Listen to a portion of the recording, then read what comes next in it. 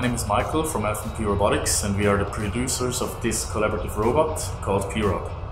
Uh, in this ROBOTT-NET project we created a system for mobile and safe navigation uh, in hospitals, supporting nurses in, in uh, blood sampling processes in the preparation and transport of blood samples uh, to the patient rooms. We work together with the MTC and Fraunhofer on integrating our robot on a mobile uh, platform of Fraunhofer Institute, combined it with a vision system and a vacuum gripper who supported us in grasping various objects.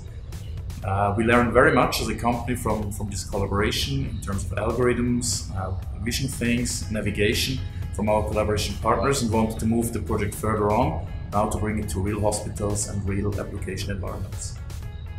I'm Bruno Brito from Fraunhofer IPA. I was a project manager uh, of this ROBOTT-NET project with F&P Robotics. So in this project we help F&P with our motion planning algorithms and vision systems so they could uh, be able to pick objects in a hospital environment.